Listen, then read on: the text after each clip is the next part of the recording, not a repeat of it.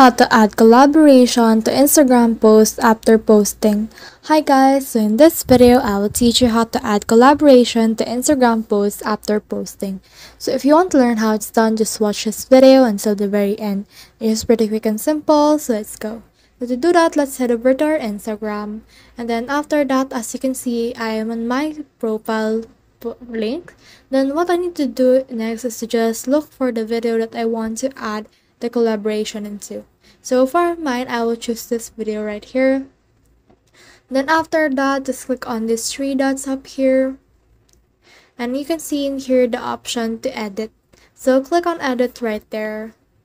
And from in there, you can click on this tag people, but you can also see this edit paid partnership label. So just click on this edit paid partnership label then click on this add paid partnership label. Then you can see in here all your brand partners. So just click on that and then search on all your brand partners right here. Then after that just click on them and add them right here. So as you can see i haven't had any brand partners yet so i can add anyone. But if you have one then you can add them right here you can also add some audience restriction, add permission and all of those. Then just click on the check icon once you're done with everything. And then click on check here again in order to click on it and save on it.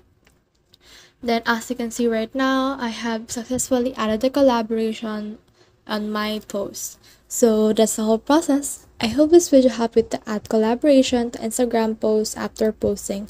If you have questions or comments, kindly put in the comment section below. And if not, don't forget to subscribe and like. Thanks!